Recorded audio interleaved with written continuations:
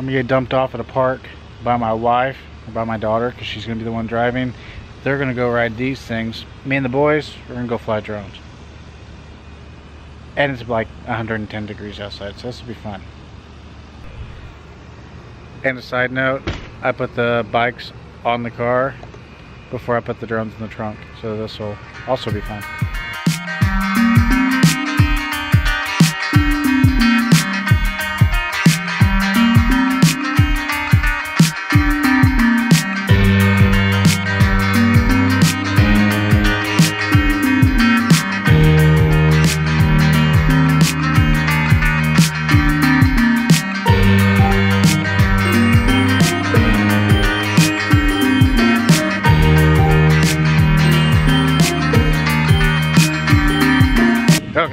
I the trip. I uh, got my daughter, my wife dropped off. My boys are back there playing on some equipment stuff. I'm just trying to find a good spot to set up. As you see, it's not a bad park. But one thing I did think of is I forgot my uh, my quad retriever pole, my 33 foot expandable pole. So if I get hung up in a tree, this might get a little exciting.